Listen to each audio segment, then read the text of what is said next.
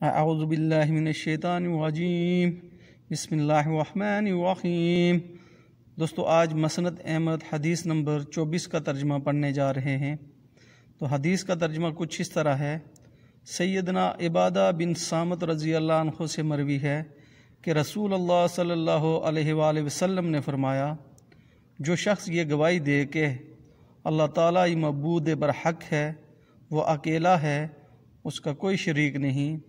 اور یہ کہ محمد صلی اللہ علیہ وآلہ وسلم اس کے بندے اور اس کے رسول ہیں اور یہ کہ عیسیٰ اللہ کے بندے اور اس کے رسول ہیں اور اس کا کلمہ ہیں جو اس نے حضرت مریم علیہ السلام کی طرف ڈالا اور وہ اس کی طرف سے روح ہیں اور یہ کہ جنت حق ہے اور جہنم حق ہے تو اس شخص کا عمل جیسا مرضی ہو اللہ تعالیٰ اسے جنت میں داخل کرے گا۔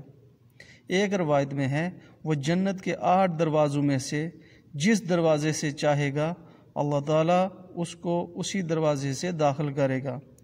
تو دوستو، آج ہم نے مسند احمد حدیث نمبر چوبیس کا ترجمہ پڑھا۔